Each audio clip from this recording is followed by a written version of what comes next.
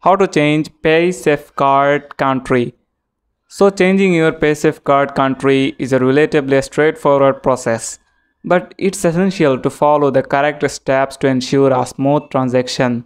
Firstly log into your paysafecard account using your credentials. If you don't have an account yet you will need to create one. Once logged in navigate to the settings or account settings section of your paysafe account this is where you will find the option to change your country. In the setting menu, locate the country or region option. Click on it to open the drop-down menu, which lists available countries.